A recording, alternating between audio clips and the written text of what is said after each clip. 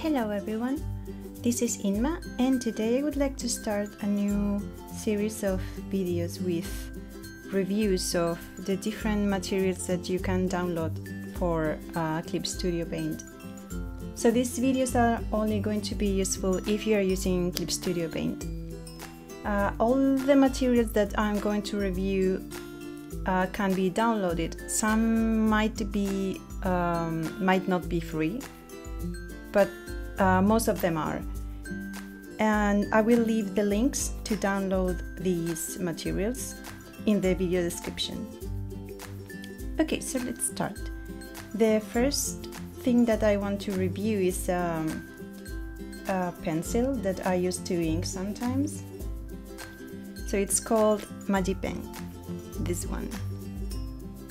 And it gives a pencil look that I really like. It makes inking a bit uh, slower than any other kind of brush, but the result is uh, really nice, as you can see.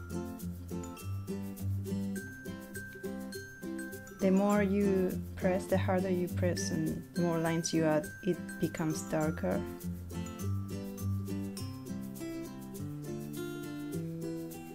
If you want to give your drawings a pencil-like line art, this one is really good. When I'm using this brush, uh, once I'm done, what I like to do is to, uh, since I'm using a vector layer, so I use this tool and I change how big the brush is. So for example, let's make it 8.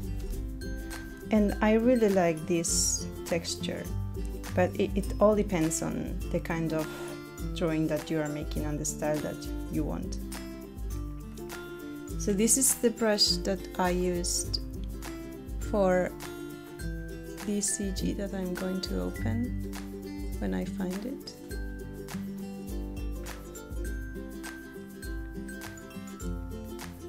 It's a bit big, so it takes a bit long. Okay, this one. This is the the brush that I used here. So you see the texture. It looks like real pencil. And this brush comes in pack with another one that's this. Uh, this is uh, more like a regular pen pencil and I don't use it to ink because it's really light but this one's very good to shade if you want to give a, a shading that looks like pencil. The harder you press, you have a darker color. It's very pressure sensitive.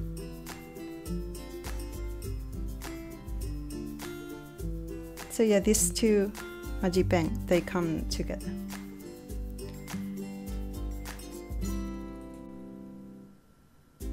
The second material that I would like to review is this action set. I think this is Korean, so I don't know what it says, but you will find the link in the video description, so don't worry. Uh, what it does is to change the line art color to some really bright colors that match what's underneath. So what you have to do is, uh, I have my colors here, and then this is my line art folder. So I click on the line art folder and click play on the first one. This is the one I use the most. It has many different options, but I will check them later. So I click play. And now it's gonna take a bit because this uh, picture is really big. It's 30 centimeters at uh, 600 dots per inch, so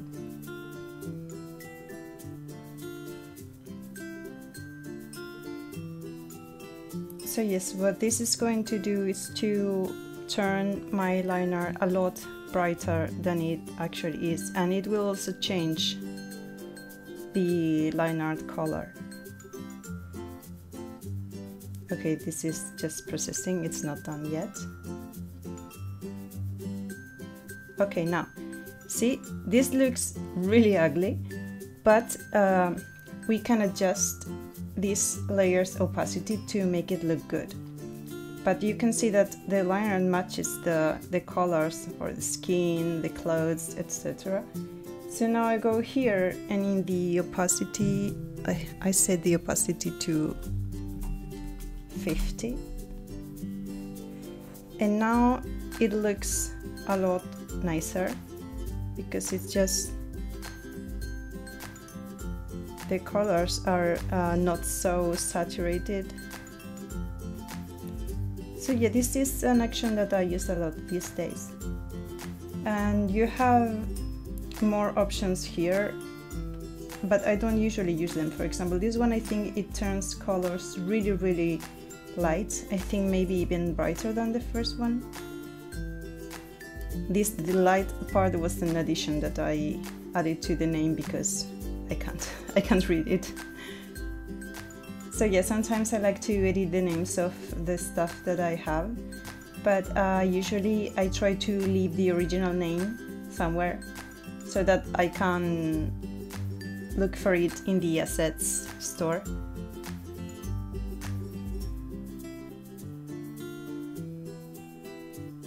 Ah, This really takes long. Okay, it's almost done.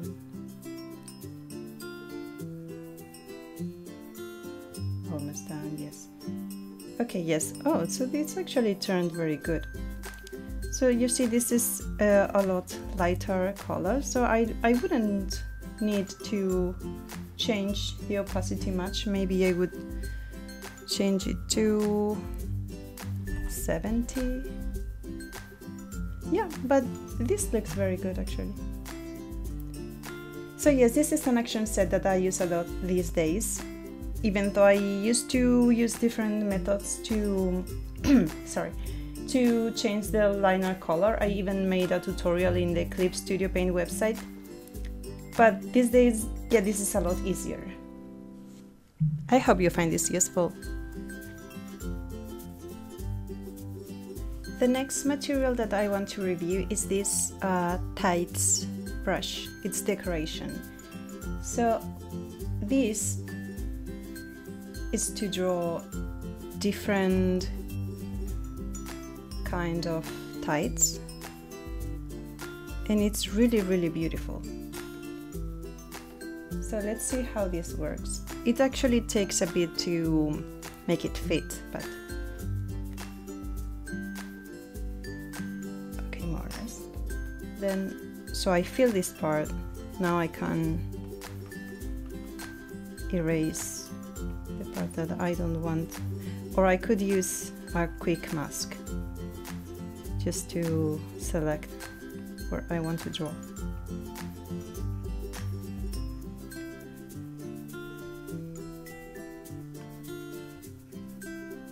because it has the shape like it's on a leg already so the result is really nice. Sometimes there some lines are a bit wobbly, but you can just fix them manually. If there's some line that, that you don't like. And also you can even use it uh, as a guide and then draw on top of it. so yeah that would be it for this one this is a pack it comes with uh, many I think it's from here all these brushes I think this one is also for this pack? Yes. Okay so I'm going to lower the opacity to see where I'm erasing. Or actually I will just set it to multiply.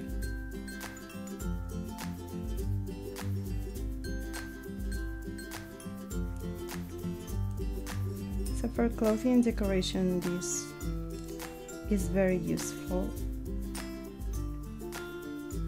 especially for net tights because they are really hard to draw and make them look natural This is a bit like cheating, but but not really.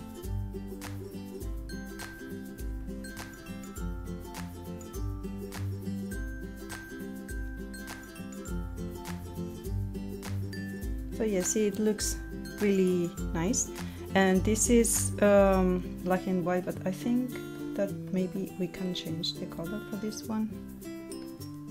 Let me see.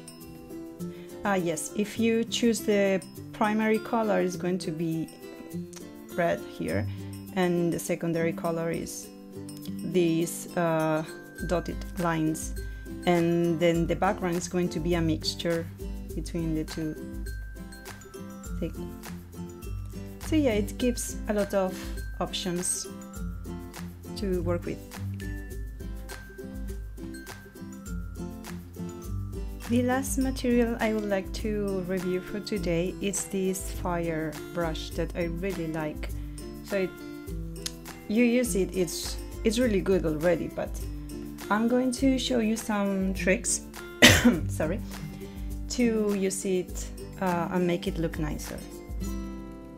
So I make a new layer and make it uh, screen mode and I draw some fire here. Then I make a new layer on top and leave it as normal. Then I draw more fire under the first layer. Now I'm gonna make another layer on top and I'm going to make it add glow.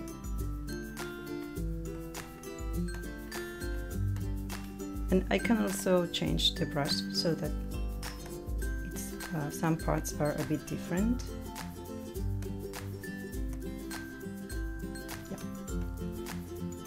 So yeah, this is really good and it also comes with this other brush for like particles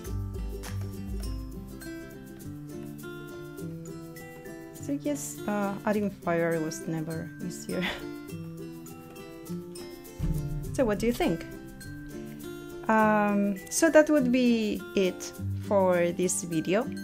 I hope that you will find these brushes and actions useful and if you like this kind of video then I guess I will make more because for me this was fun since it doesn't need audio editing and such so it's it's a lot faster to make. Also if um, if you want to support me or check uh, more tutorials by me I'm making tutorials from now on for my Patreon for only five dollars so uh, yep so if uh, I'm gonna leave the link in my uh, in the video description. And if you like well just check it out. So if you have any comments or suggestions for future videos let me know in the comments below. And thank you very much for watching. Bye bye